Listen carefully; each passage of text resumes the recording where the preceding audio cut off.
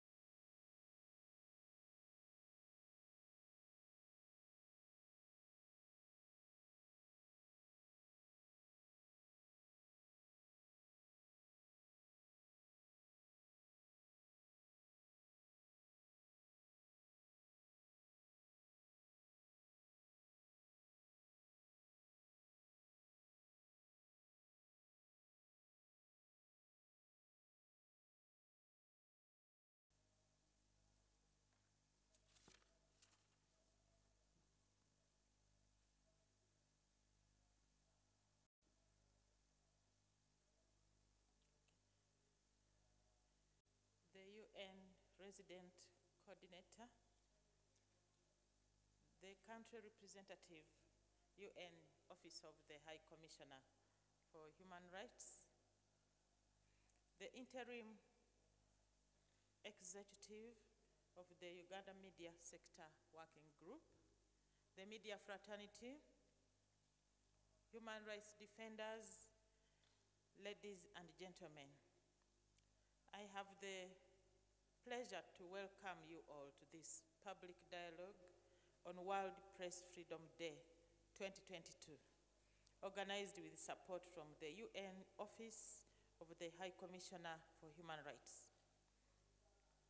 The Uganda Human Rights Commission is happy to be associated with this public dialogue, which is seeking to interrogate the impact of the internet and other technologies on promotion and protection of human rights. In particular, the focus on freedom of the press and other media, which is a facet of freedom of speech and expression, is key to the Commission's work of protection and promotion of human rights in Uganda, since it underpins all other rights and freedoms by now, most of us, if not all, are aware of the effects of the digital revolution, not only on enjoyment of human rights, but also on the duty of the state to respect, protect, and fulfill them. The effects are both positive and negative, and so we must find ways of promoting what enhances the enjoyment of the rights and the freedoms in question, as we also recommend action to address the negative consequences. The need to protect journalism and media freedom, which are the enablers of freedom of speech and expression, cannot be overemphasized. The Uganda Human Rights Commission is looking forward to your recommendations.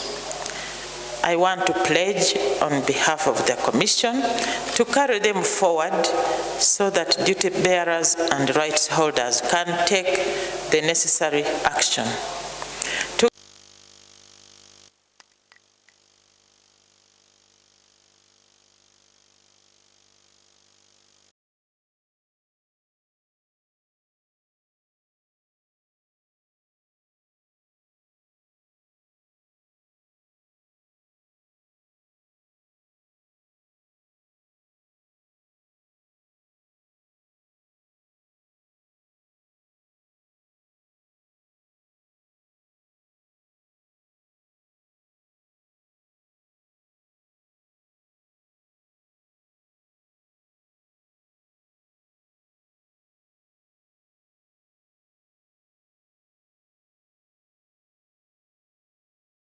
UN Resident Coordinator for her personal presence here. Thank you for gracing uh, this day. We are very grateful. Uh, so friends, uh, I now have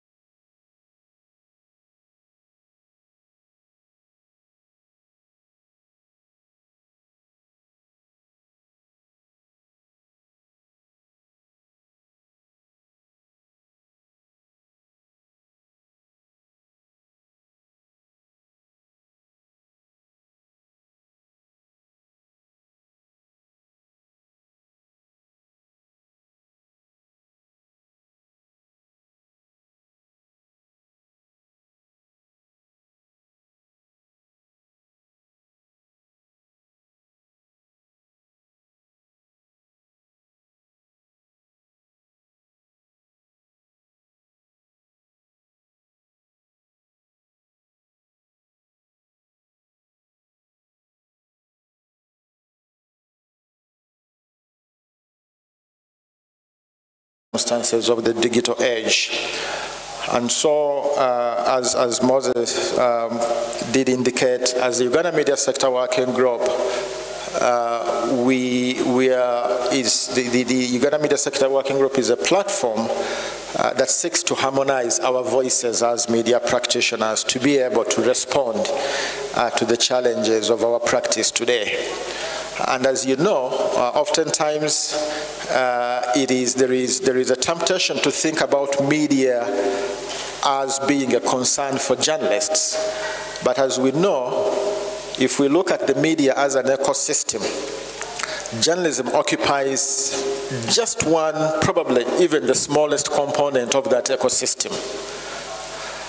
So there is the public, are media consumers, are news consumers, are media producers, all these actors you know, whether they are operating within state agencies or non-state agencies or media support organizations, training institutions, all these have a stake in the media sector. And so the whole idea why, for instance, the Uganda Media Sector Working Group uh, is being formed and then the process started like two years ago, and we'll have an opportunity to introduce even more to you, is to harmonize all these voices so that we can have a platform where we can address uh, all these issues uh, from a common standpoint and build consensus really about where the industry should be going, where the sector should be going, but most importantly, including the voices of the consumers of news, of the producers of content who don't operate in corporate or institutional media, but people who have access to the, to the, to the technology that we have today.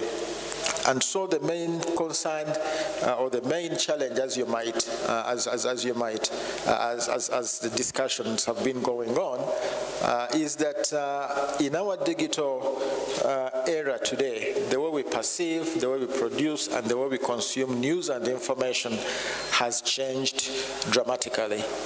And so one of the key issues uh, that confronts us today is that, for instance, today the, the, law that we have today that governs the practice of journalism is a law that was established in 1995. Now that law, as you can imagine, is, is, is, is so outdated that uh, the regulators actually struggle to regulate the sector because the law does not, and the regulations that were conceived for a very different era, a very different generation, you know, the circumstances have, have changed. And so that is the kind of conversation that I believe, uh, that we believe as the Uganda Media Sector Working Group, working together with the UN agencies, with all the other, you know, stakeholders, the Parliamentary Press Association, the Uganda Journalists Association, and all the other actors that we can really, really uh, marshal our voice uh, and, and, and contribute ideas to how best the sector should be governed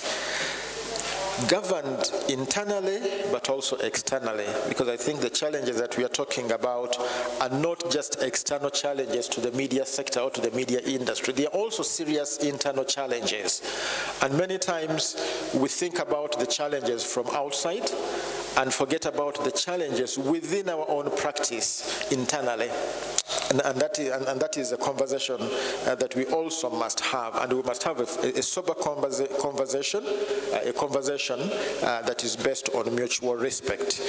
And, and, and therefore, uh, I, I, I, would like to, to, um, uh, to, to, reiterate Uh, that uh, as we go forward, uh, as we celebrate the, the, the, theme, as, we, as we commemorate World Press Freedom Day this year under the theme journalism and digital siege, we would like uh, to have uh, you know the, the, voices of all those you know who are affected by what we do as the media. There are many people who are aggrieved, you know, regular citizens, people in positions of authority, even media practitioners themselves. For instance, there are a lot of issues of welfare that I know the Uganda Human Rights Commission has been working on for quite some time.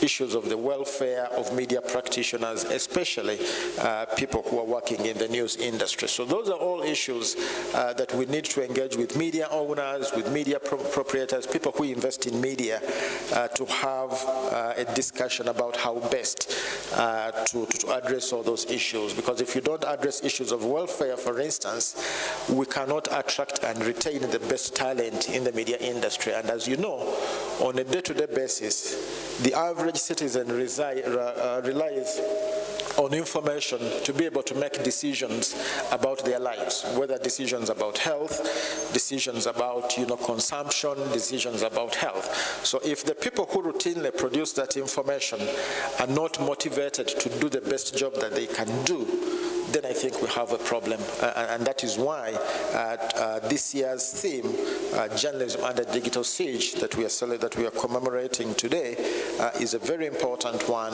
and and, and, and would like to uh, to, to and, and we we are glad to participate, and we look forward to continue engaging with all partners within the UN system, within the government, starting with the Uganda Human Rights Commission, and we've already had an engagement, you know, with. Uh, Justice Wangadya and her team, and we are looking forward uh, as media uh, practitioners, as, as media leaders, you know, across the board consumers, producers, owners of media platforms, we look forward to having uh, uh, uh, this kind of dialogue. And, and, and, this is, I believe, is just the beginning, just the first dialogue, but there are going to be many dialogues of this nature uh, over the years. Uh, thank you, uh, and, and, and, and, I wish all of us successful deliberations. Thank you.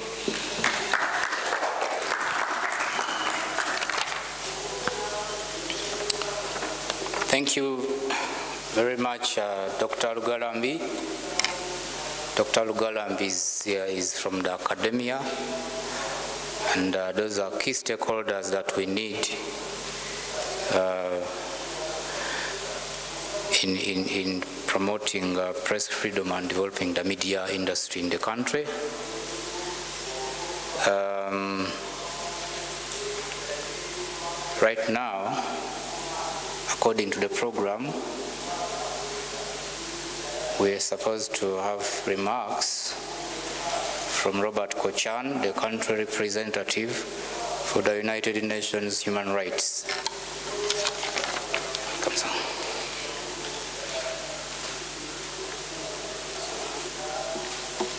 No sanitizing anymore. Do we have? We should have. Should we have? Charity. Can we get some sanitizer?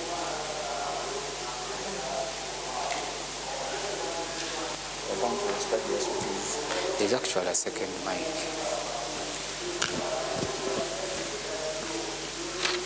There is the second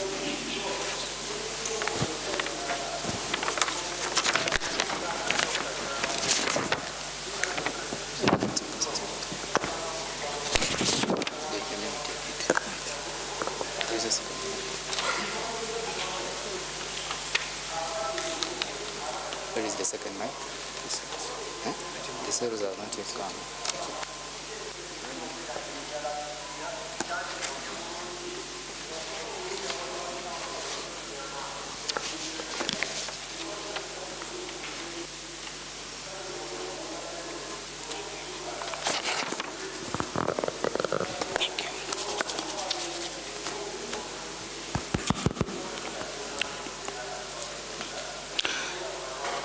the State uh, Minister of ICT and National Guidance, the chairperson of the Uganda Human Rights Commission, my dear sister Miriam, Mariam Wangadya, the United Nations Resident Coordinator, Sister Susan Ngongi Namondo, the Interim Co Coordinator, Uganda Media Sector Working Group, Dr. George William Lugal Lugalambi, Distinguished representative of government, yes, yes, let us have it here. Distinguished representative of government ministries, agencies, and departments, representative of the private sector, and this one, okay. Representative of the private sector and civil society organizations, members of the media fraternity, ladies and gentlemen, good morning. On behalf of the Office of the United Nations High Commissioner for Human Rights, commonly called also UN Human Rights in Uganda, I am delighted to be part of this public dialogue to commemorate the World Press Freedom Day under the theme Journalists Under Digital Siege.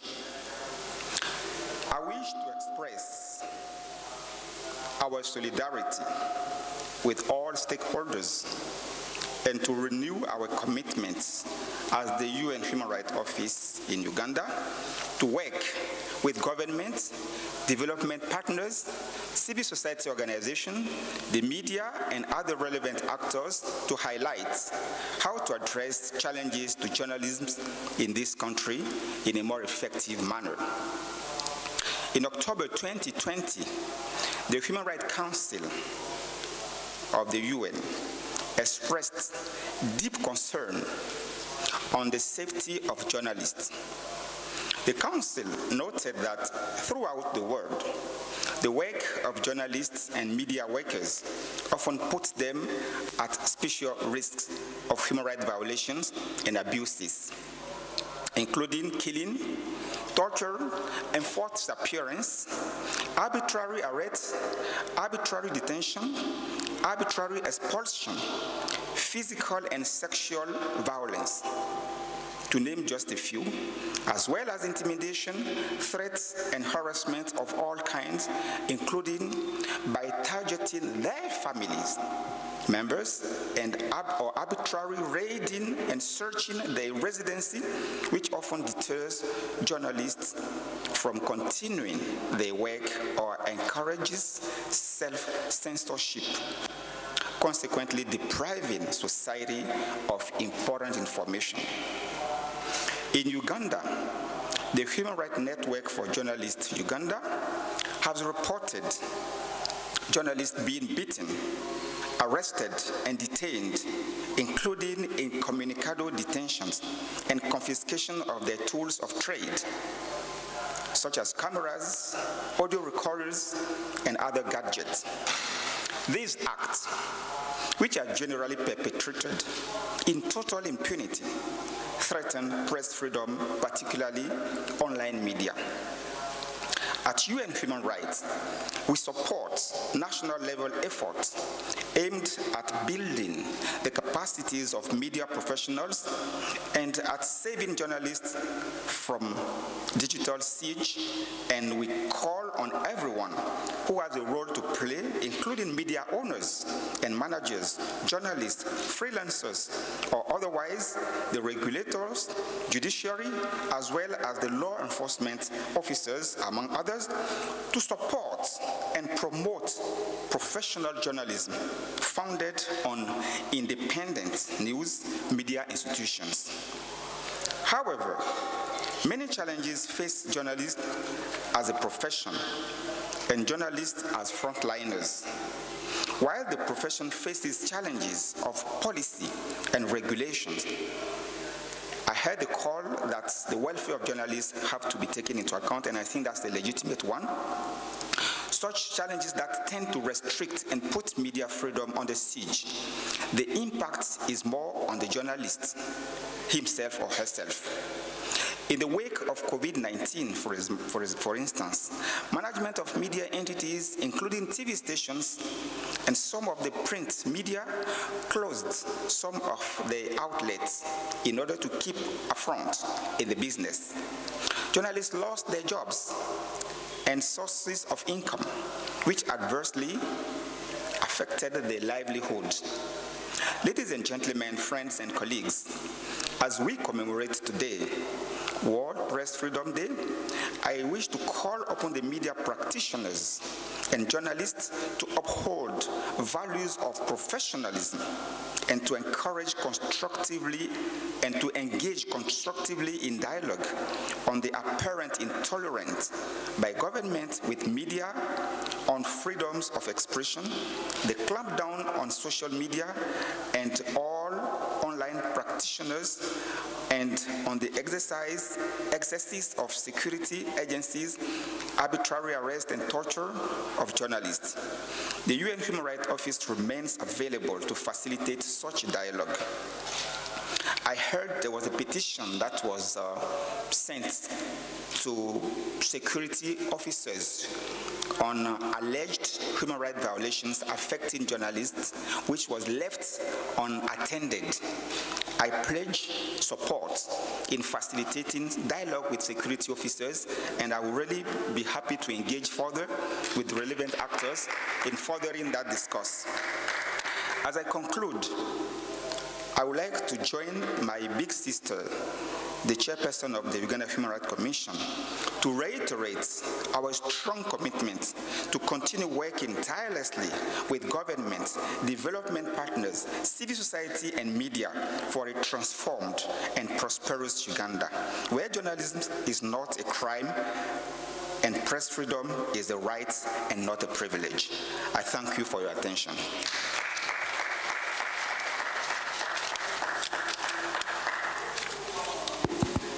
Thank you very much, uh, Your Excellency Robert Kotchani.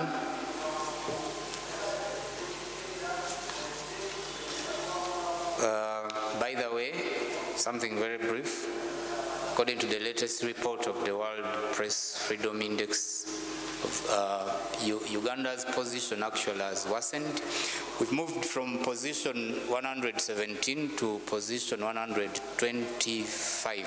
So the different stakeholders who are here, uh, let's take this seriously and come up with measures to ensure that uh, we reverse that trend because it looks like the situation keeps worsening.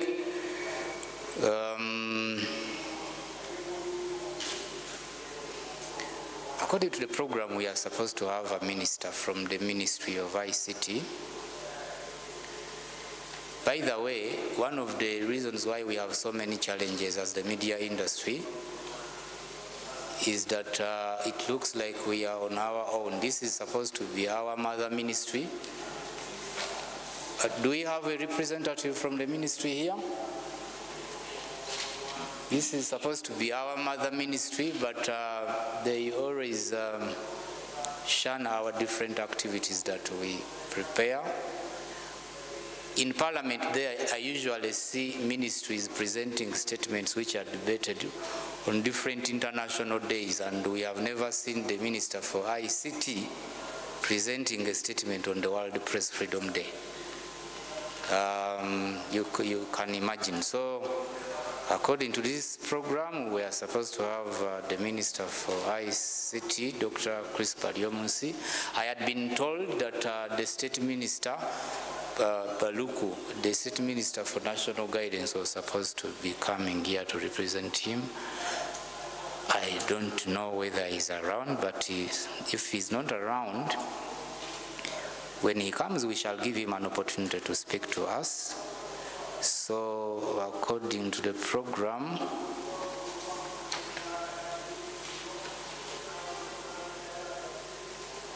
okay, sorry, uh, we, I have been actually corrected. We, before the minister, we are supposed to have the, the UN boss in Uganda, who is already here, but after her, of course, we are supposed to have uh, remarks from the minister. So, without wasting any more time, ladies and gentlemen, let me welcome uh, Ms. Susan Ngongi Namondo, the UN resident coordinator, to speak to us. Thank you very much.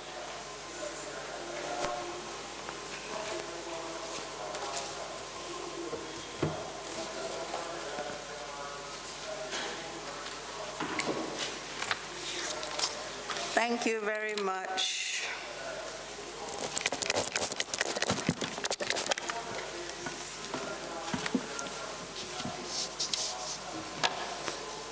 Well, I was going to start by recognizing the Honorable Minister that we expected to come, but you've practically told us we shouldn't expect him. So recognizing whoever will be representing the Ministry of ICT and National Guidance. Um, the chairperson of Uganda Human Rights Commission, the coordinator of the Uganda Media Sector Working Group and the media more broadly present today, representatives of the private sector and civil society organizations, Welcome, Honorable.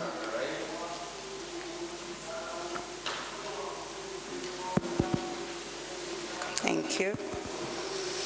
Um, The UN Human Rights Country Representative and all my UN colleagues who may be present, ladies and gentlemen, including those who are at home, good morning to everybody. To work, sticking with the theme, to work as a journalist today, one needs a great deal of courage. Hundreds of journalists, photographers, camera operators, the world over, have suffered a lot of abuse. They have been killed, injured, jailed, and threatened. And this is a really worrying global trend. And this is a trend that we also see on our continent. And you mentioned the um, Press Freedom Index. It appears also in Uganda. As was already mentioned by the Human Rights, um, um, the chairperson of the Human Rights Commission, a free, safe, independent, and pluralistic press is a core element of any functioning democracy because it supports the protection of all the other human rights instances where public has learned of where there might have been abuse of misuse of power, corruption, um, torture, other, other, and other, um, um, and other such, such um, instances have really been the work, a lot of it has come to light because of the courageous work of journalists. Press freedom is an acknowledged human right enshrined both in national and international law, in particular the Universal Declaration of Human Rights and the, and the Convention of Human Rights, which also protects the physical integrity of journalists. On behalf of the United Nations system in Uganda, let me express our solidarity with all journalists and renew our commitment to work with all the stakeholders, the government, our development partners, civil society, the professional media organizations, and journalist associations towards a safe and secure working environment for journalists. I think as was mentioned by Dr. Um, Mugalabi, I hope I'm not mispronouncing your name hugely. The world today has changed significantly since we started celebrating this day in 1993. In 1993, barely any of us here present, those online, had a functioning email address. There was no Google, no Facebook, no Twitter. We didn't have citizen journalists in quite the same way we have them today. The widespread diffusion of the internet, mobile communication, digital media, and a variety of social software tools throughout the world has transformed the communication system into an interactive horizontal networks that connect with local, connect the local and global. New forms of media cater for the flow of messages from many to many it used to be from a few to many. Now it's many to many. They have provided alternative mediums of citizen communication and participatory journalism. And with the growth of digital journalism and digital tools, we now have new opportunities and threats to both our democracies and journalists. The opportunities of the internet, and I think the chairperson also mentioned this, I think are generally agreed upon. The internet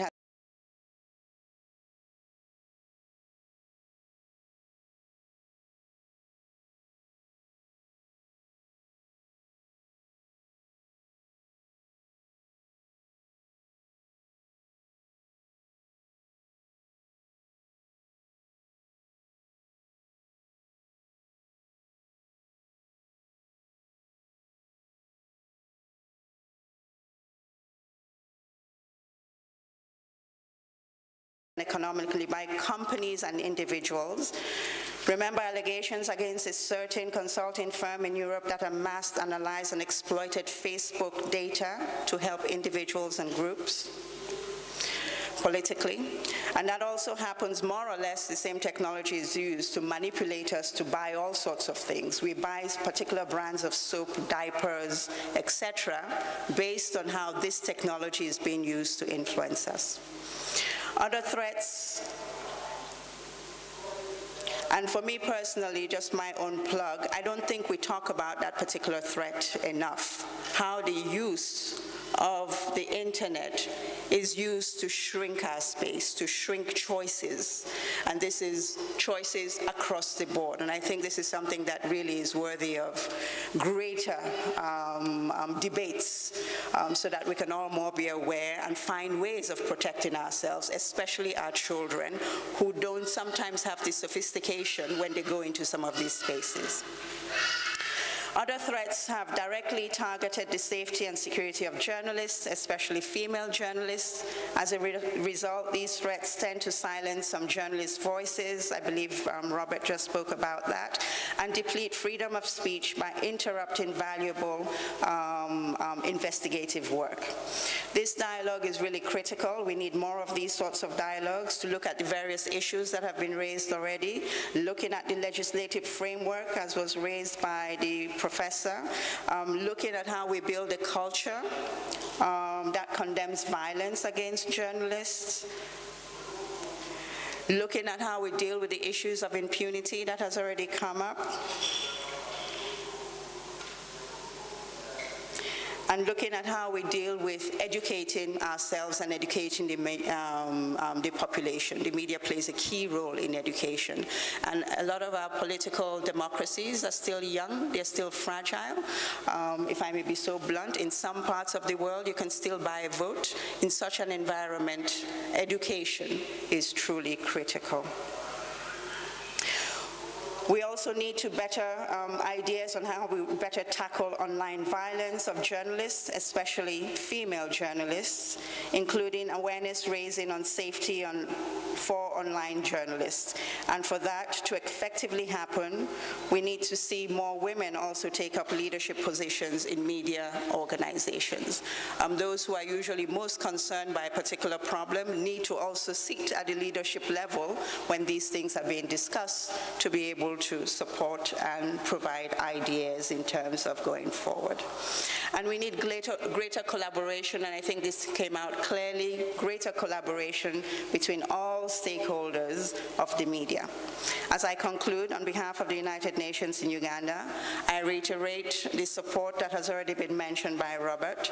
I reiterate our commitment to continue working with the government, her development partners, civil society and media organizations, and journalist associations towards a safe and secure working environment through implement, the implementation of the UN Sustainable Development Cooperation Framework, our global framework, in support of the third National Development Plan and Vision 2040 to transform Uganda to that dream um, um, um, that it aspires to be. Thank you all for your attention and best wishes to all for this dialogue.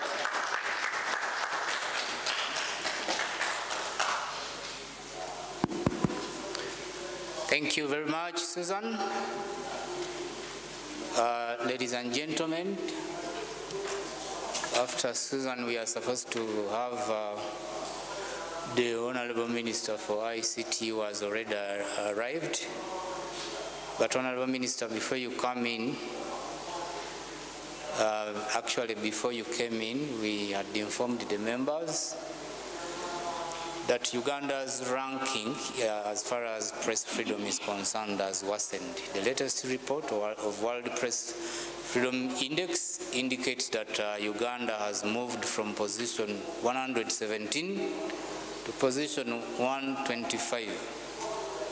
And according to all the reports uh, over the years that we have in Uganda, including from Uganda Human Rights Commission. Uh, the leading violators of press freedom in Uganda are actually state entities that include uh, Uganda Police Force, UPDF, UCC, RDCs.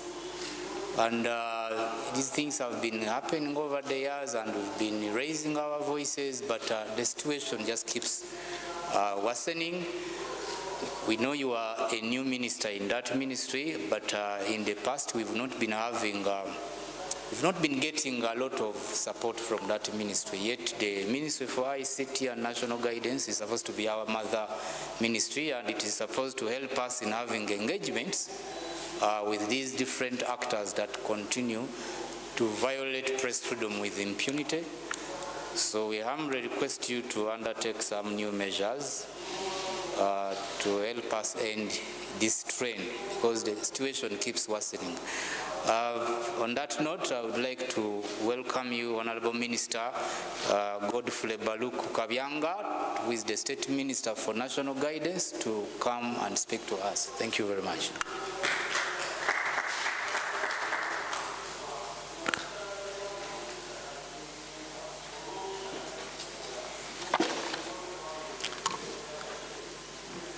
Thank you very much. Uh, First of all, I'd like to apologize for coming late. It's not my nature. I always keep time, but there were a few disruptions here and there. And I also bring apologies from my senior minister, the Honorable Dr. Chris Baryomunsi, who was supposed to officiate at this uh, function, but uh, he was uh, called for an abrupt meeting in Entebbe, and uh, he delegated me to come and uh, step in for him. So his apologies. My name is uh, Kabyanga Godfrey Baluku. I'm the Minister of State for National Guidance in the Ministry of Information, Communication Technology, and National Guidance. It's a great honor to join you today to co- commemorate the World Press Freedom Day. I would like to thank the Uganda Human Rights Commission, the Office of the United Nations High Commissioner for Human Rights in Uganda, and the Uganda Media Sector Working Group for organizing this important dialogue.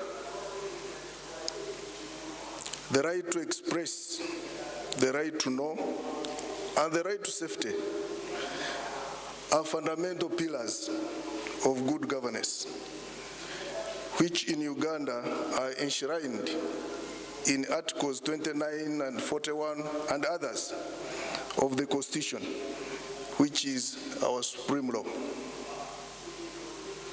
Government has also put in place several other laws like Access to Information Act with attendant guidelines to oper- operationalize these rights.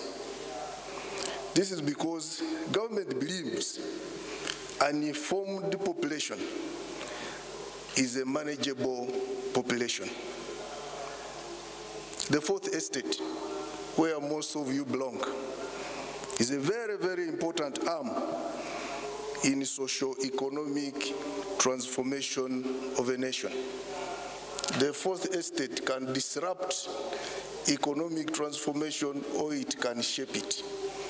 So you are very, very an important arm in the governance of this country.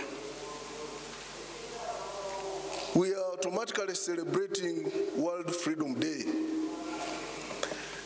at a time where so many media forms, new forms of media are emerging, and where everybody has become a journalist. I think some of us who didn't study journalism now, we don't even know the definition. As if everybody has become a journalist in his own way. Regulate media have a problem.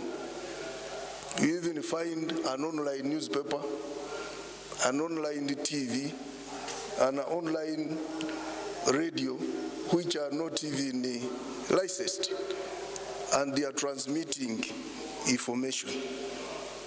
That's where the world is. It's moving digital, and everything is becoming very, very complex. Doubtless, we are all aware that social media has caused dis- disruptions to how traditional media gathered, filtered news for purposes of influencing social, economic, and political happenings in our society.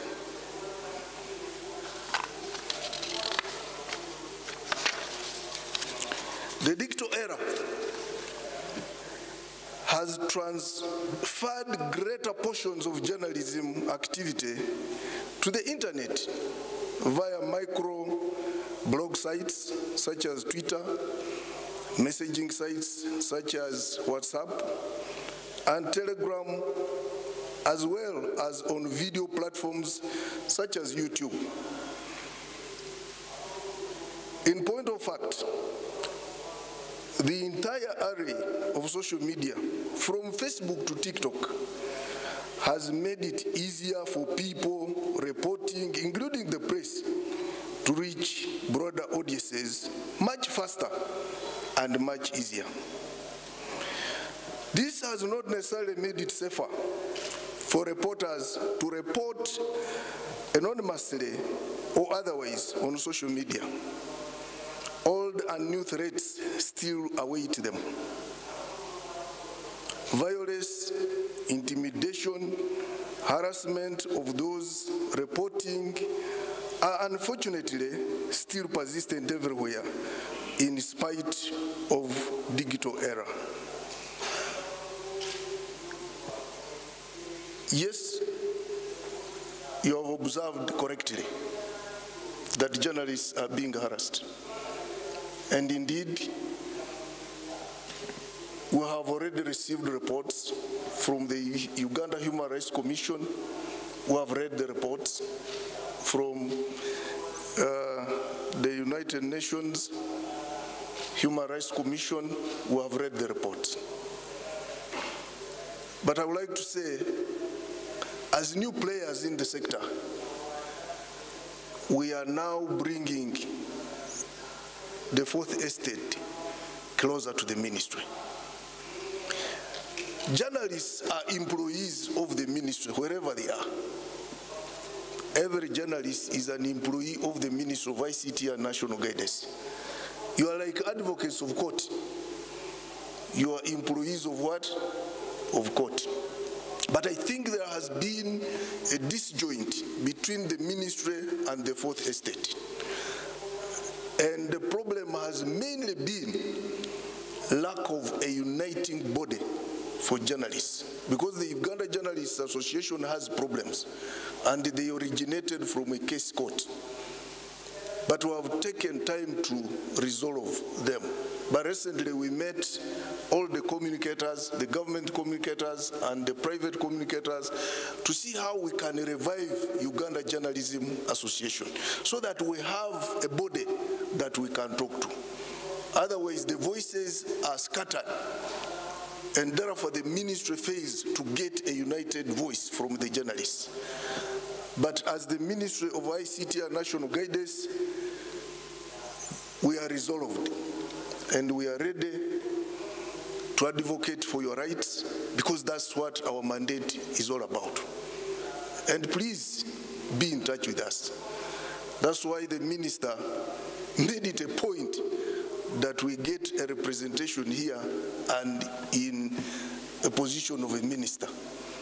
Otherwise, we are supposed to have cabinet in Entebbe, but he had to tell me to come here to pass over this message so that we don't send anybody below a minister. And when a minister talks, then government has spoken. So be, be sure that we are ready to collaborate with you and to end this once and for all. When our rank as government reduces from 117 to 125, it's not you who is affected, it's we in government who are affected. We would like even our rank to raise so that Uganda can be looked at as a free country where journalists are free to practice. So please don't think we love it. We don't. But we shall work together and sort out some of these issues. Uganda has a vibrant and progressive ICT space. Telecom companies have taken advantage of the conducive environment in which they operate to continuously invest in broadband and their internet technologies. With more Ugandans using the internet, social media, social media use continues to increase. As such, the internet carries free expression, sometimes in the public interest to the people around Uganda and elsewhere in the world. In its 2013 Press Freedom in the Digital Age report, the Council of Europe noted that the internet enabled more and more people to become aware of corruption, maladministration, ethical behavior by public officials and businesses and serious human rights violation. And among the four disruptions we have in this country, one of them is corruption. And it's you, the fourth estate. And we call upon you to expose corruption as much as possible. Probably there, we shall also wake up as government to even fight it more. But there are so many institutions in place now that fight. But we can't be everywhere. And we can't get to the root of this. But strengthen your investigative journalism and expose corruption. Then government can come in to see how to deal with the corrupt. It added that this access to internet allow bloggers, reporting citizens and others to join traditional journalism in the ranks of those who are at risk of retaliation by the state authority or interest groups. In Uganda, the Ministry of ICT and National Guidance, working with the academia, civil society, as well as recognized bodies such as the National Association of Broadcasters, Public Relations Association of Uganda, and Uganda Journalists Association, is continually advocating for a realization of international acceptable minimum reporting standards. And I want to emphasize this, acceptable minimum reporting standards because we may not reach the maximum. The ideal, the, the, the practical situation is normally not the ideal. Of course, like in all jurisdictions of the world, every once in a while, some individuals opt to use the power that social media grants them and infringe on the rights of those that they disagree with. Whereas you think government is high-handed, but even you journalists take it to the extreme and which is also not good. And just as I told you, everybody now in Uganda has become a what? A journalist of some sort. For instance, some individuals, in a bid to express their displeasure with our politics, has gained fame by notoriously and consistently attacking the persons of the first family. This is an ethically wrong. This is ethically wrong, and we must all condemn it. Whereas as government, we feel their excesses. But even you here, you should condemn unethical reporting. This is ethically wrong. To attack the person of the president, to attack the person of the chairperson, uh, Uganda Human Rights Commission, because probably has not reported what you want, you start saying that one is also bought. After all, he was appointed by the regime. It is unethically not satisfactory. We shall fight, we shall streamline our side, but you also as journalists, streamline your own side. It takes two to tango. So, we are misusing social media. Someone just goes on social media and says the president is dead. And, he- and even you, you saturate it. Uh, even when a journalist was with the president, that real time on a function, none can come and say, no, but we are here with him and we are on a function. So, as Minister of ICT and National Guidance, we want to fight this. We want to streamline our own systems. We are already engaging with state organs, but you should also streamline your own selves. And that's why we need a very strong association of journalists where we can reach them, interact with them, and see how everything is streamlined. In 2017, a missive to the chiefs of security, His Excellency the President Museveni cautioned against uh, torture of all starting, stating that the use of torture is unnecessary and wrong and must not be used again. So clearly then, our stance on torture is that harassment of journalists is primitive, barbaric, and unnecessary. Very primitive, harassing a journalist. It's, no, it's uncalled for. It's uncalled for. We shall look for other methods of handling wrong journalism, but not torturing journalists. We have scientific means how we can control you. We can even block your phone by them, and you don't send anything. Scientifically, we can do it. So even if you go and get the wrong pictures, if we target you, we can block you. And you don't send that. So we don't need to torture you. That one, I think we condemn in the highest uh, terms possible. That one I would like to, to assure you. And we are saying all people involved in torture are doing it as individuals, as individuals, but not as state agents. And you should also know that even among journalists, there are those who are bad. And every time they release wrong information, the whole journalism fraternity is blamed. But we are saying we should get away from that and look for the wrong elements and get them out.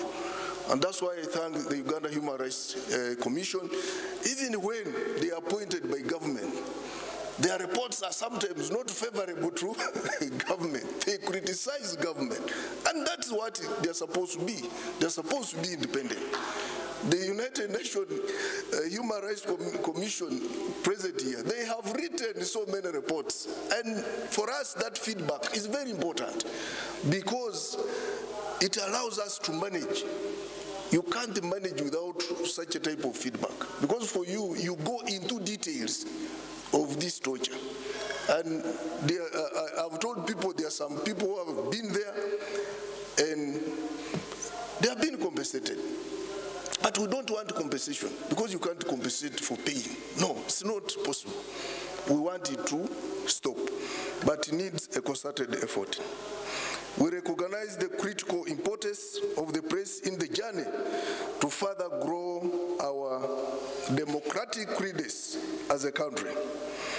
We recognize that the press is quite essential partner to our socio-economic transformation journey to build an independent, integrated, modern, and self-sustaining economy.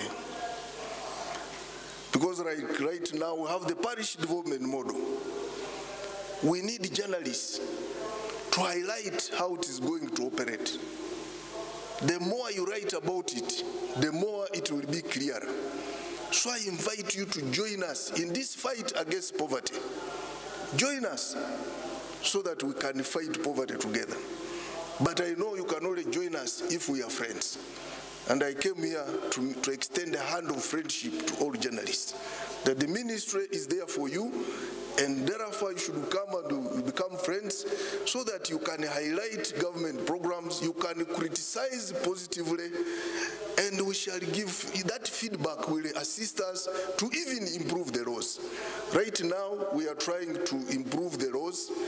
We are working on several amendments in the uh, Uganda Communication Act and all other acts in our ministry. We need your feedback so that we can see how we can make very strong laws. At the ministry, as the ministry in charge of ICT and national guidance, we will continue to work towards enabling an environment that, first of all, encourage greater state and private investment in information technology. Secondly, we will continue to advocate and work with progressive agencies to guarantee the safety of members of the fourth estate. We have to guarantee your safety. A country without a strong fourth estate cannot develop at all. It is a closed country. It is a country in darkness. So let us work together. Our partnership and collaboration is not just a choice, it is a must. It's not a choice to collaborate with you, to partner with you. That collaboration and partnership is a must for us to develop our country. The right to receive and impact information is one we take seriously, and it is one of our mandates as Minister of ICT and National Guidance. I wish you very nice celebrations. You celebrate freely. You have seen there is no police here, so you can enjoy yourselves. you will be here safely, and you should report everything that you discuss here. We need that feedback. I thank you very much, and I say all this for God and my country.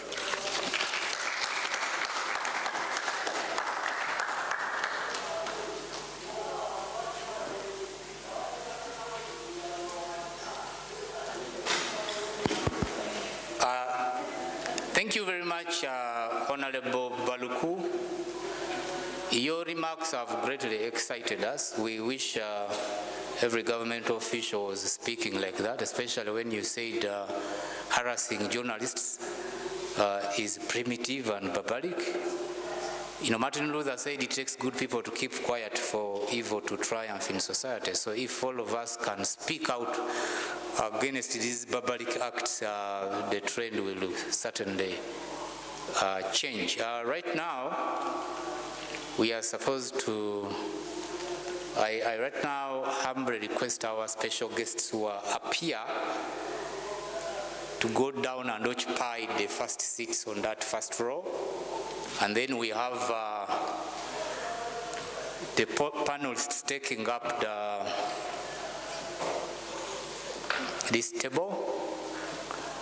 My sister Tuhaise come and take over because you're supposed to moderate the next session.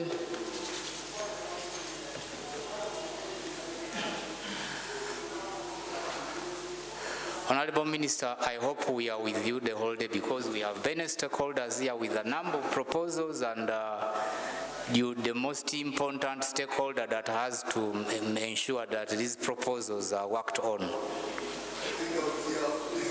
Half day, of course it's half day, it's not whole day. We are here half day, by, by around mid. Okay. Thank you very much.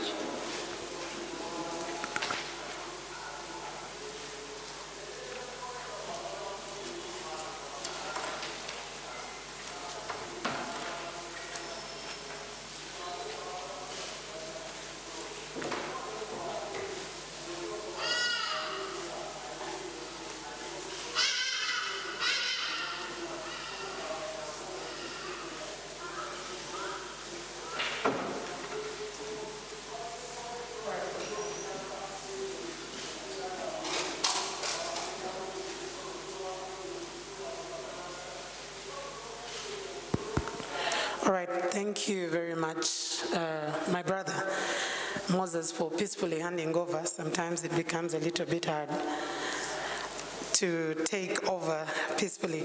But uh, I'll I'll just have my mask off just a little bit.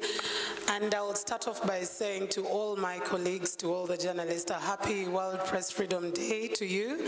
For those who put in all the effort, for all those who wake up early in the morning and all you're thinking about is what next am I going to be able to tell the countrymen, the people who are watching. I want to say a happy World Press Freedom Day to you again and all the aspiring journalists. It's not an easy trade, like the minister did particularly say, but uh, like he said, that collaboration and partnership is not just a choice, it's actually a must. And I think that's what Her Excellency uh, Susan uh, Ngongi did speak about as well, that there needs to be continuous collaboration and we need to continuously speak. And it was with great pleasure when um, Mr. Robert Kotchani did clearly say that he is willing and the UN system is definitely ready to facilitate those conversations um, with the security personnel, but even the conversations just within the media cells. Um, when the minister, um, Honorable, did clearly speak about a unifying factor, I, I, I think you're clearly speaking to um, the reality that sometimes you need a uniting voice. You need one full force that you know if I speak to, I am able to meet each and every one as opposed to when you have a, a, a little bit of splinters. It is okay to have different groups, but do we have that one unifying voice that can be able to share all this?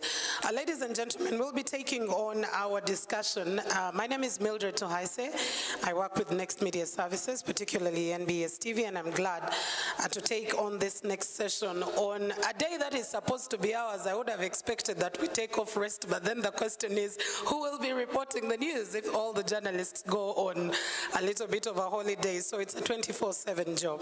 But before we take on the discussion, which is going to focus particularly on the digital siege, which the minister highlighted, Her Excellency highlighted, uh, the UN, uh, I, I, mean the Uganda Human Rights Commission uh, head highlighted, and everyone else, the digital space the reality that we are having currently in the third industrial revolution, which particularly focuses on the digital revolution, but the fact that we are also dri uh, driving into already into the fourth industrial revolution. It is no longer business as usual.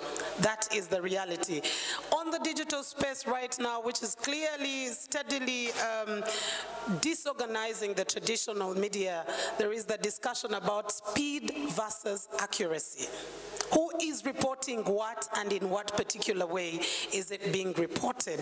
You know, the minister was speaking about bloggers and all these people. This is the new reality that now the word media, which is a plural for medium, is, is broader. For someone who is operating on, uh, on YouTube, that's a medium of exchange of information.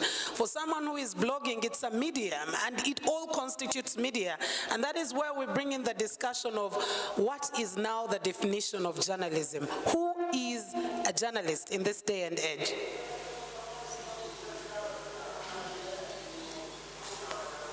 So who is a journalist? What is journalism in this day and age where we do have digital journalists, where we do have citizen journalism, whereby my phone can as well substitute his camera. So how do we handle the journalism in essence, that journalism uh, in class which taught us the four W's and H in this space because um, the minister was speaking about professionalism, very, very true. But how do we manage to live in that particular space? Before I call upon our panelists and discussants, uh, we will be getting more of uh, a keynote address uh, or presentation from Ms. Rosemary Kemigisha, who is a senior human uh, rights officer at the Uganda Human Rights Commission. And uh, Ms. Rose, kindly uh, step to the fore.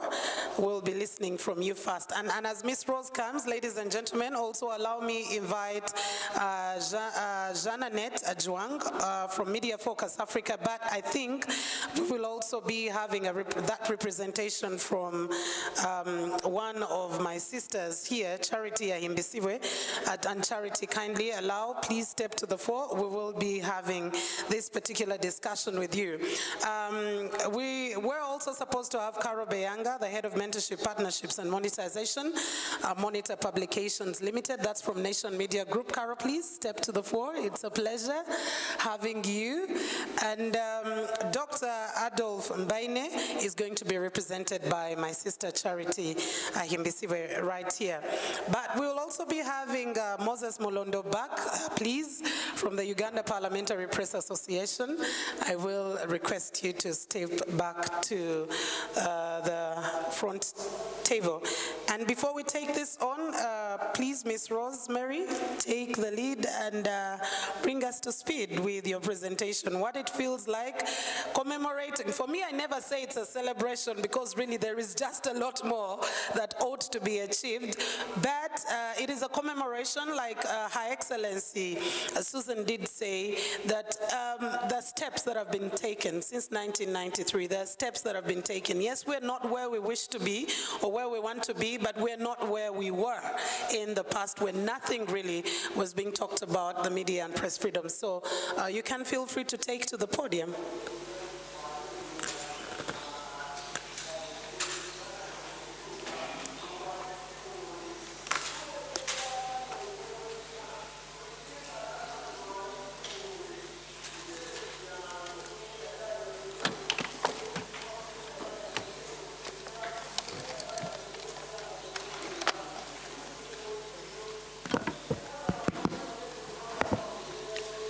Thank you very much, Mildred. Uh, still good morning, ladies and gentlemen. Happy celebrations of World Press Freedom Day. I was asked to uh, make a presentation on the human rights perspective of the, uh, uh, the theme for World Press Freedom Day, which is journalism a digital siege. Well, uh, as a way of introduction, I think journalism is here to stay. The threat is there. Uh, we will, right from here, find a way of existing in the new digital space. But the role of journalism, the role of journalists uh, cannot be uh, really wished away.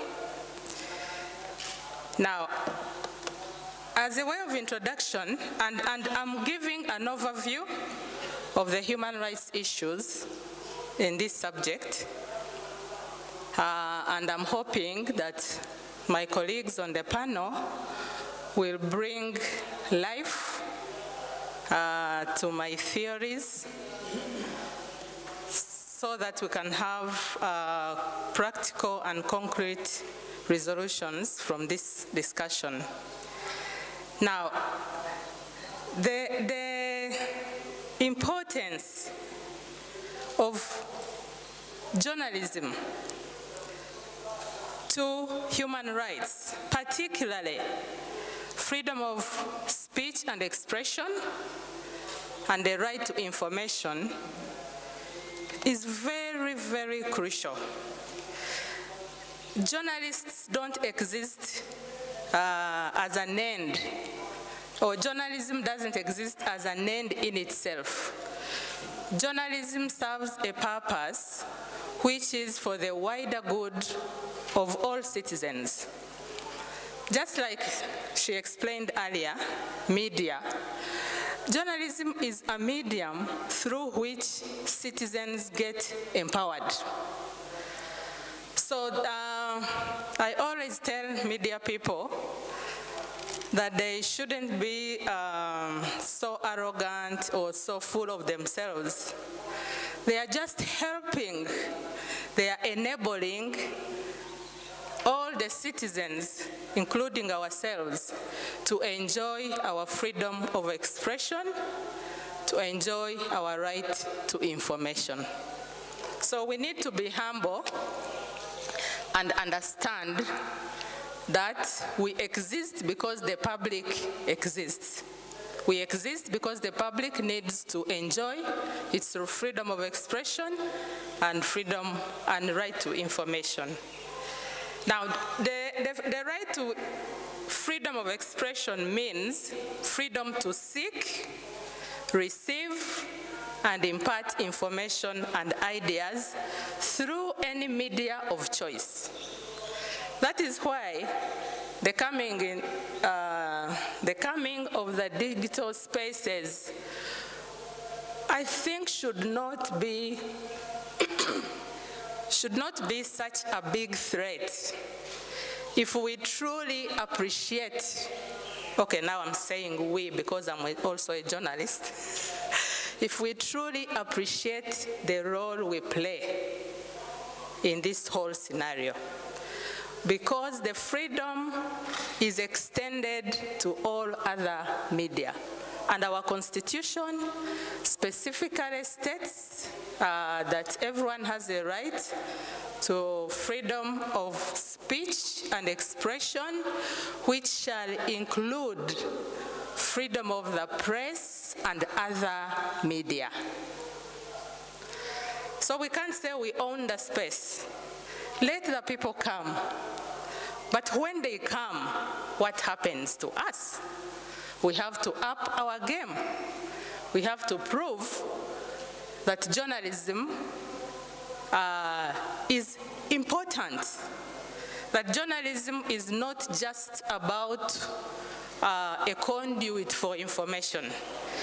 Journalism, in, from a human rights perspective, is about uh, providing empowering information to the citizens so that they can uh, use that information to also play their roles as citizens, to participate in governance, to participate in decision making, to participate in development, in nation building, name it.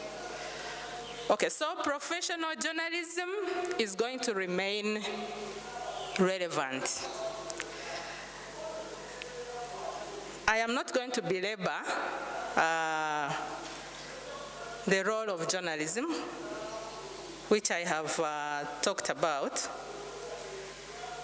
But let me just say that good journalism requires free and independent media, requires freedom of the press and other media, which is part and parcel of freedom of speech of everyone else and expression.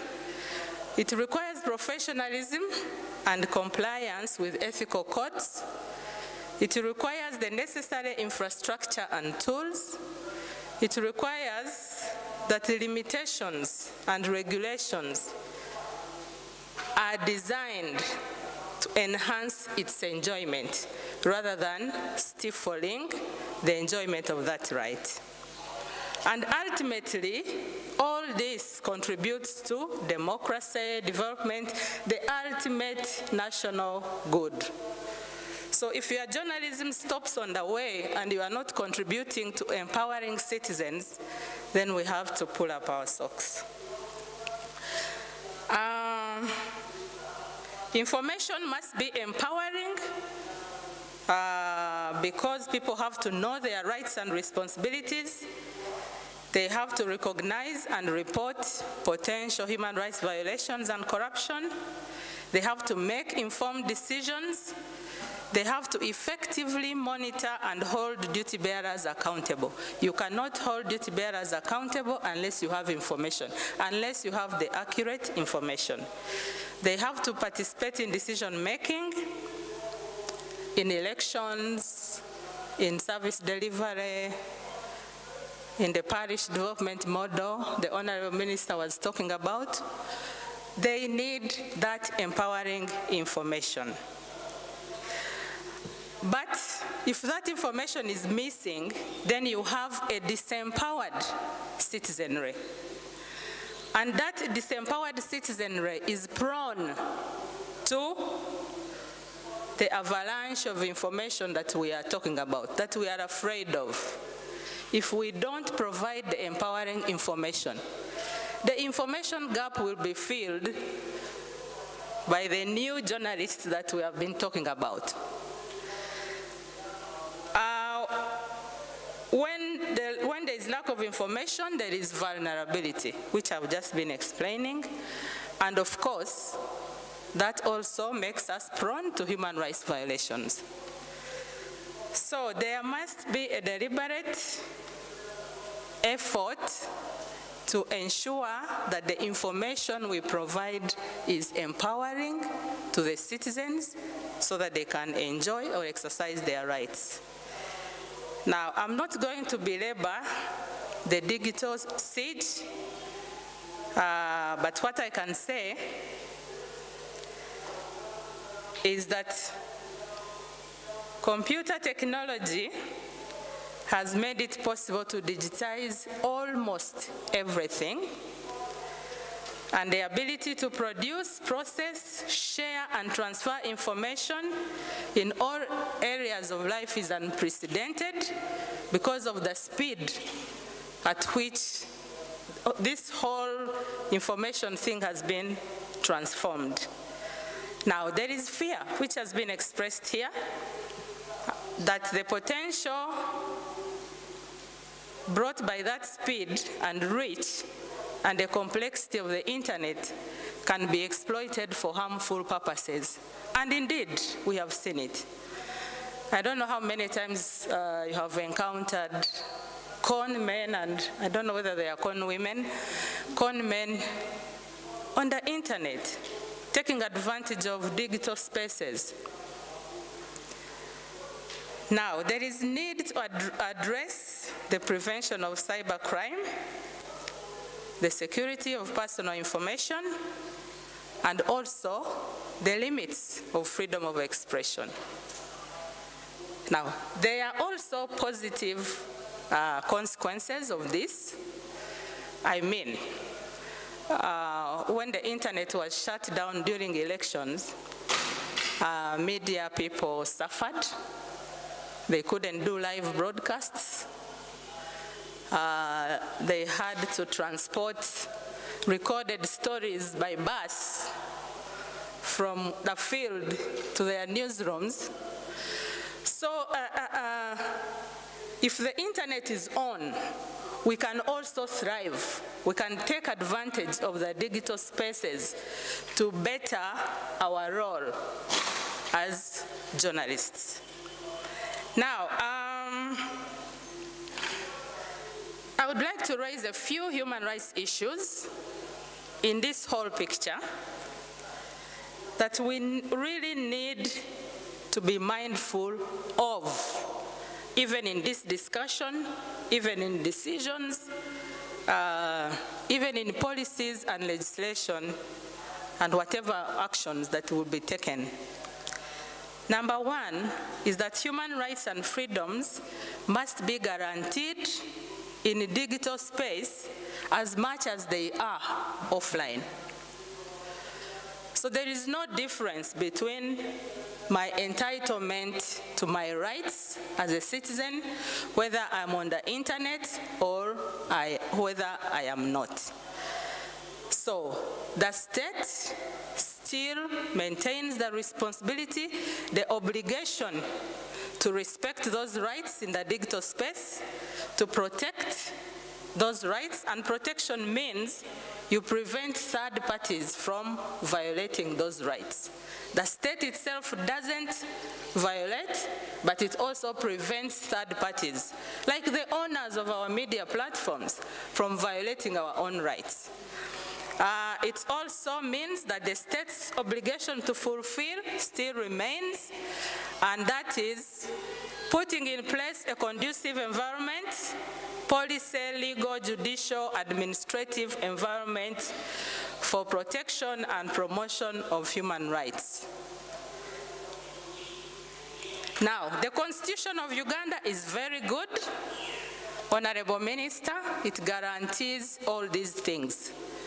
But there is a gap between the guarantees and the implementation on the ground, which we seek to address. The second human rights issue is that all human rights and freedoms go hand in hand with duties and responsibilities.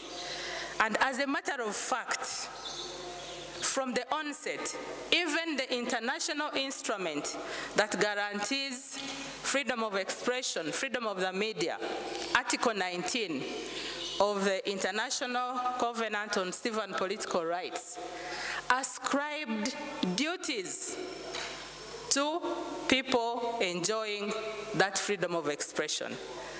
There is a duty that prohi prohibits propaganda for war, inciting violence, advocating hatred, and incitement to cause harm. Most of the rights are stated, everyone has a right to this and this and this. But this particular right that gives media uh, freedom also stated responsibilities in that, uh, in that same instrument, which means that there is a very high responsibility on the media, very high responsibility on journalism, uh, and that responsibility is not going to go away in the digital era. The question we have, the critical question, is how do we enforce this responsibility in the digital era? The third human rights issue is that human rights, particularly the rights we are talking about, freedom of expression, freedom of the media, the right to information, are not absolute. They can be limited. So even in digital spaces, those rights can be limited. But they must also follow the accepted principles of limiting human rights. Honorable Minister, when we are thinking of regulation, when we are thinking of legislation, when we are thinking of policy, we need to be mindful that the limitations on the rights must be for purposes of enhancing enjoyment of that right, but not to stifle the right. And therefore, uh, we need the limitations because we have to safeguard other rights. We need the limitations, but the limitations must be legal. The principles for limitations are legality, uh, necessity, proportionality, non-discrimination, and they must be justifiable and necessary in a democratic society. So arbitrary limitations, which we all experience in the field, when a security personnel uh, descends on a journalist and clobbers the journalist without putting them through due process, that is uh, an illegal limitation to the right. Now, this is the test to which all media regulation should be subjected to.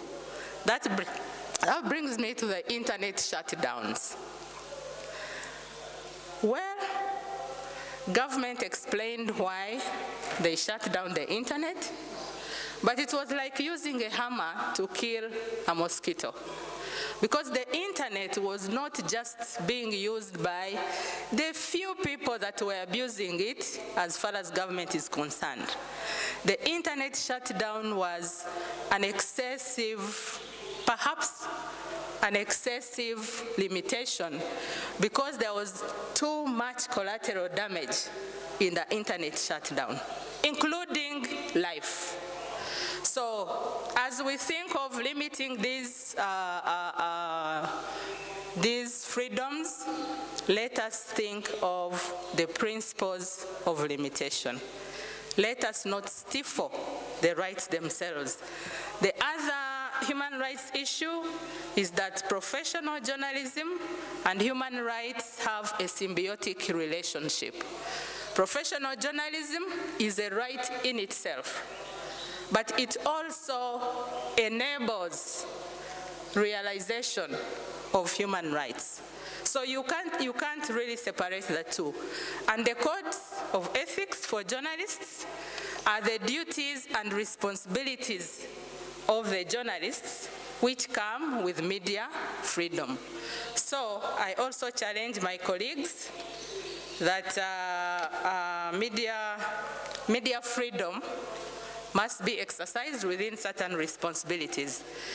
Now, journalists are human rights defenders and they deserve special protection even in digital spaces. Uh, there is a framework for protection of human rights defenders.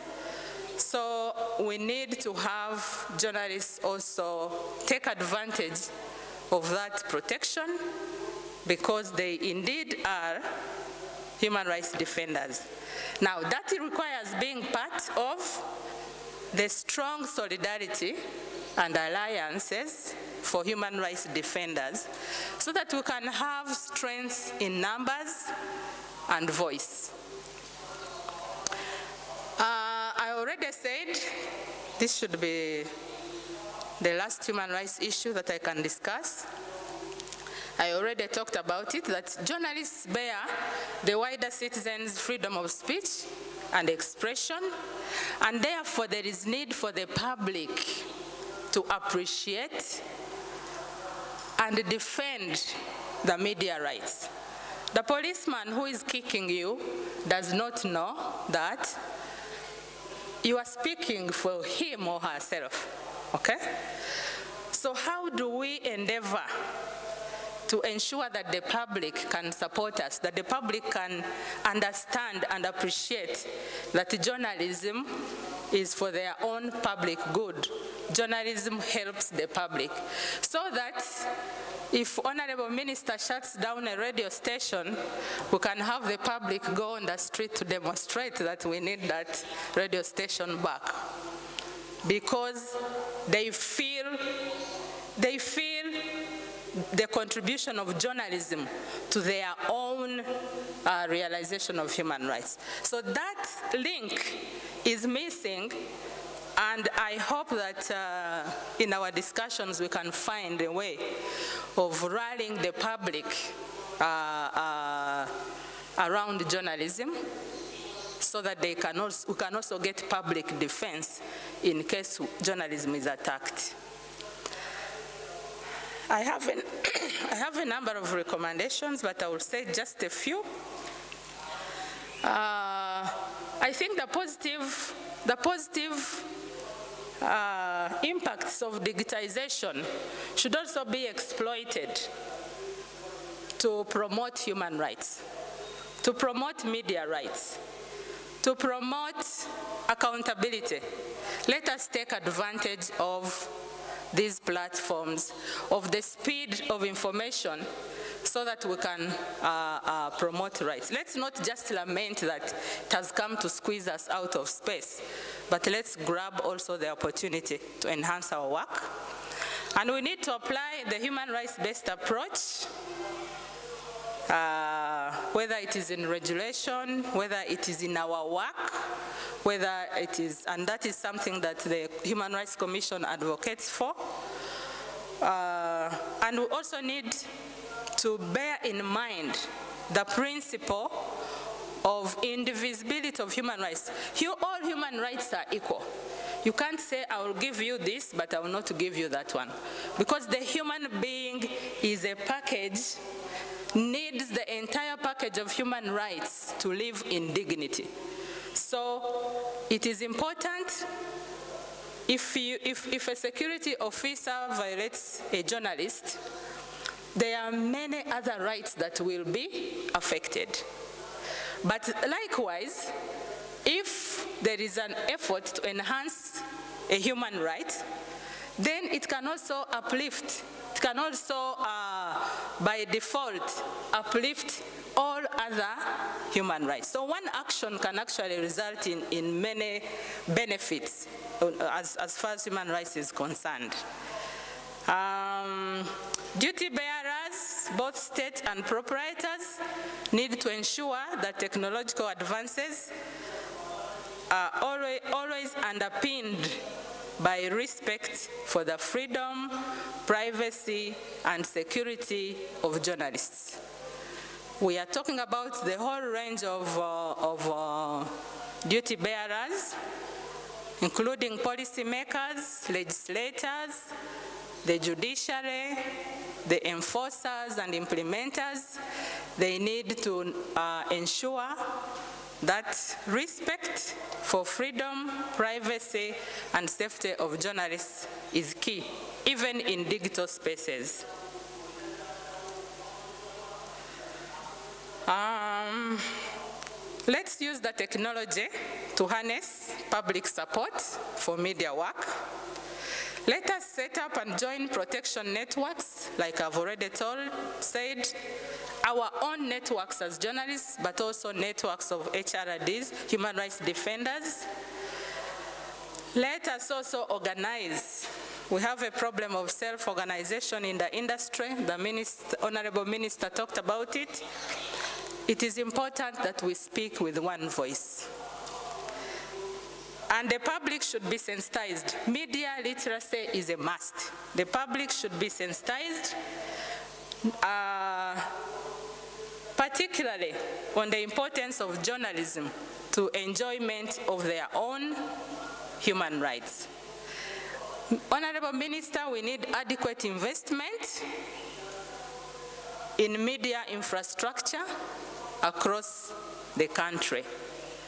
The availability and access to the internet. There is no reason, if we are in this digital era, why, for example, one part of Uganda, which is in the city, can easily access internet and others cannot, because that means some people are missing out.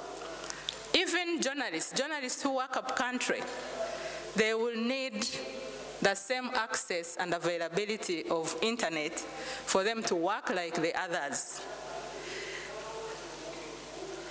Um, we need to redefine minimum standards for media content for all the players, not just journalists. Minimum standards for media content. We have a lot of people now in the digital space so we can't throw them out, but we need to embrace them and groom them so that they can understand the responsibility of using the media space. Uh, Mildred is not, is eyeing me, so let me just conclude by saying the digital revolution is here with us. It has ramifications for journalism. So we, we, have got to rethink and review how to protect the important role of the media because journalism will have to survive and also thrive in the digital era. Thank you for your kind attention.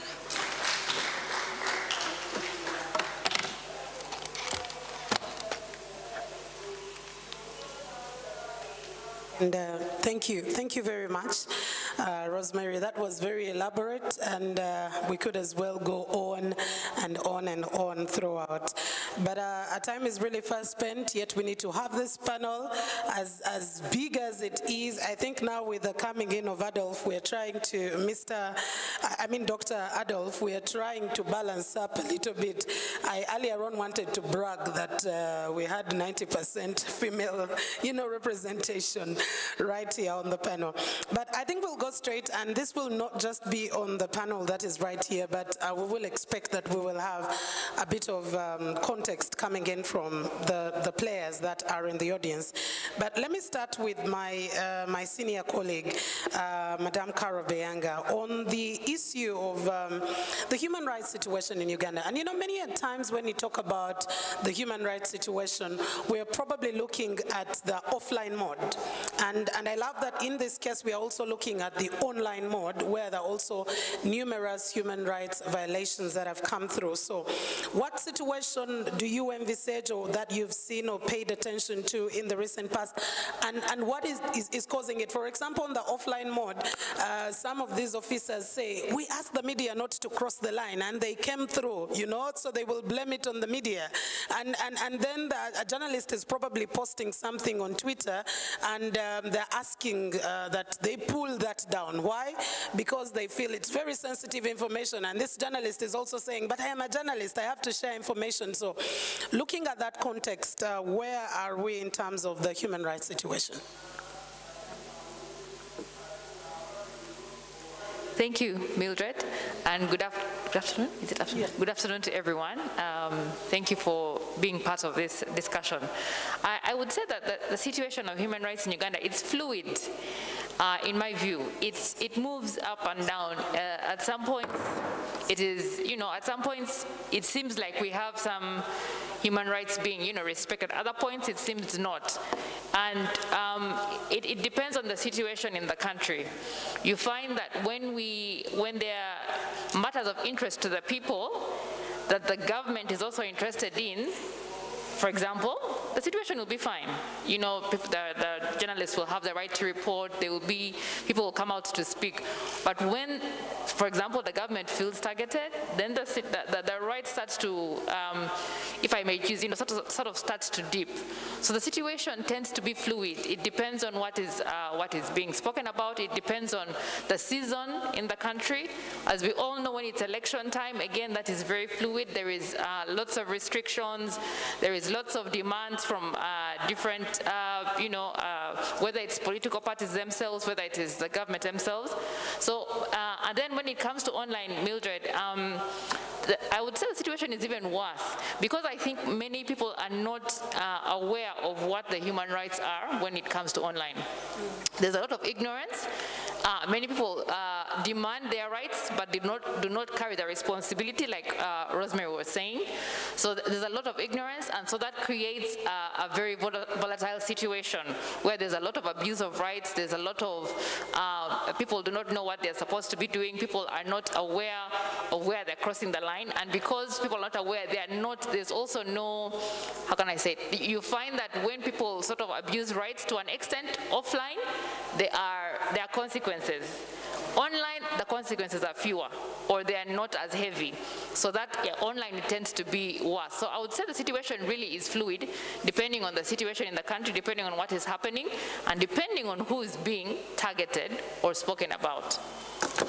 All right, thank you. And let me cross over to doctor at the extreme end. Uh, while in journalism um, school, there is a lot that is taught, what to expect, the rights and responsibilities, and what's expected of each and every journalist. But um, the question would be, a journalist, are we overly exaggerating our, our role because, and, and I'm, I'm trying to put that in context where journalists feel like, yes, I am supposed to be there. And that brings in the discussion of that ambiguity of what are the rights, what, what are my rights, what are my responsibilities. And I want you to put that in the context of both the offline and online uh, in the discussion that I brought about of, I have come to cover the news, it's a riot, yes, I need to capture that moment. And you as a police officer are telling me to go aside. You're doing your job, I'm doing mine, and you've seen journalists do that as much. I am doing my job, and the officer is also saying, I am doing my job, and before you know it, there is a sort of a clash. Uh, bring that into context. Uh, thank you very much. I'm sorry I arrived a bit late. I was in another meeting, and uh, it went on and on and on, so I'm sorry, Honorable Minister and uh, the Honorable Chair of the Commission and uh, our friend, our good friend, the resident representative of human rights and colleagues. Um, yeah, I think uh, there is a problem around the understanding of uh, free expression in the broader context and media freedom as such. And I think once we don't get that right, then we, we depart from uh, the wrong premise. Um, we, we probably all know the importance of free expression for all of us.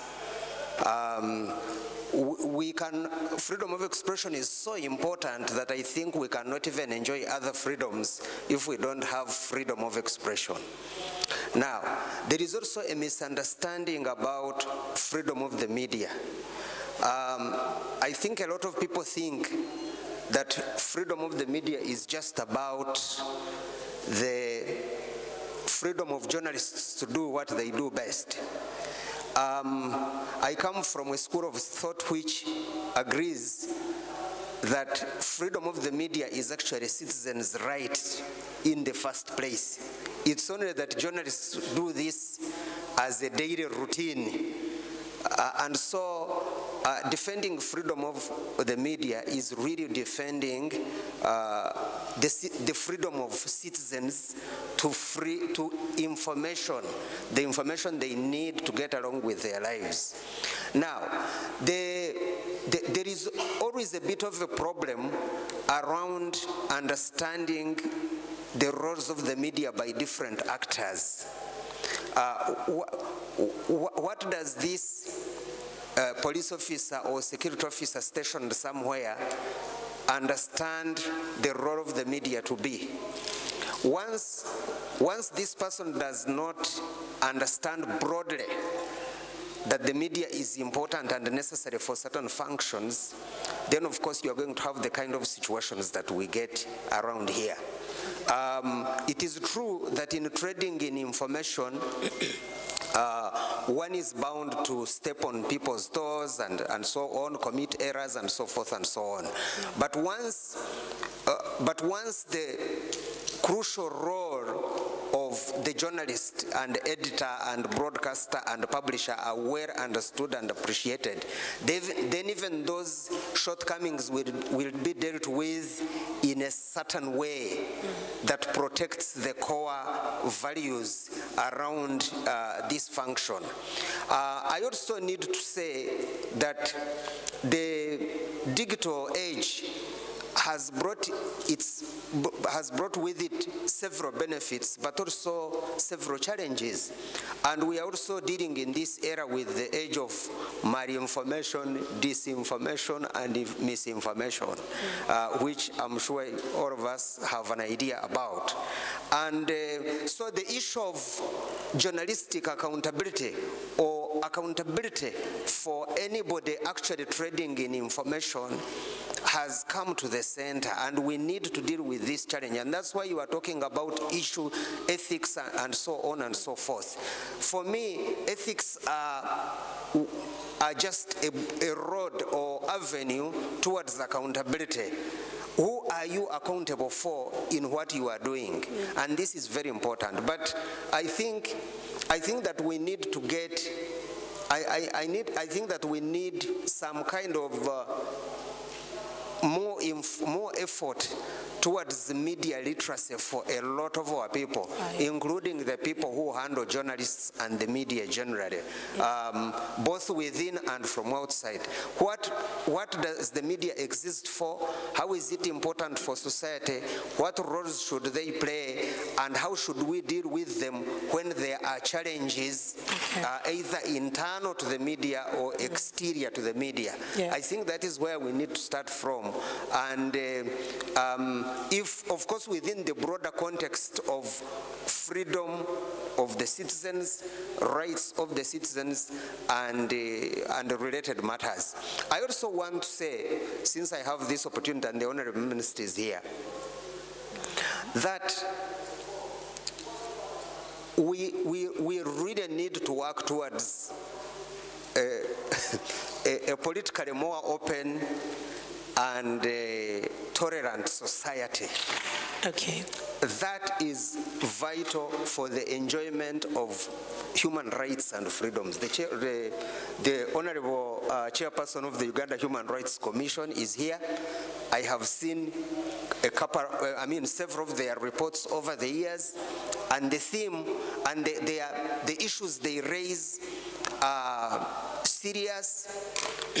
Some, most of them have not been actually addressed over the years, and what this means is that almost every year we probably get worse from the previous years in terms of political tolerance, in terms of respect for human rights and freedoms. I thank you. Thank you very much, Doctor. I would have expected when Doctor spoke about a politically tolerant society, the journalists to clap their hands because that seems to be one of the biggest hindrances here. Let me let me come to you, uh, Mr. Mulondo, and um, on on the aspect of uh, freedom of expression, which Rosemary also talked about, and, and talked about three facets which I was pretty much interested in.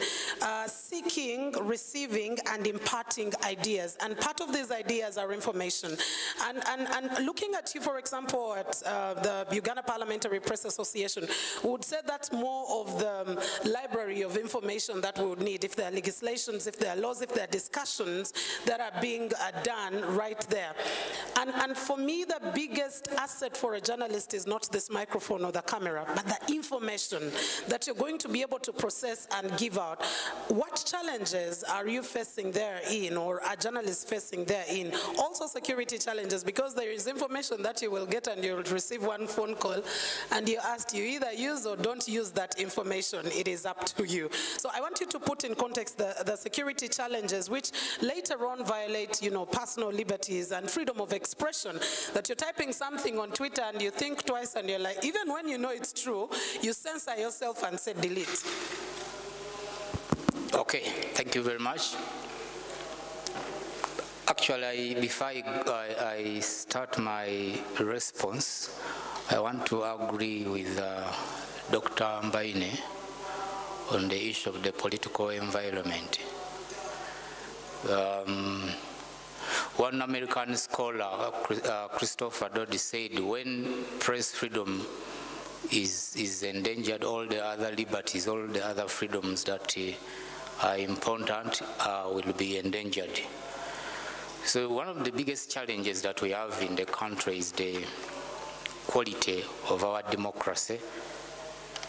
I was attending the launch of the report of the Press Freedom Index by the Human Rights Network for Journalists and the number of journalists who are, who victims that had been assaulted when they turned up and they were giving their accounts.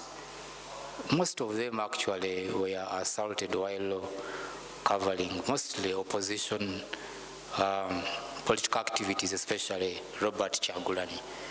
So you can see that actually that is where the biggest problem is. And um, we, we are lucky that today we are having that, this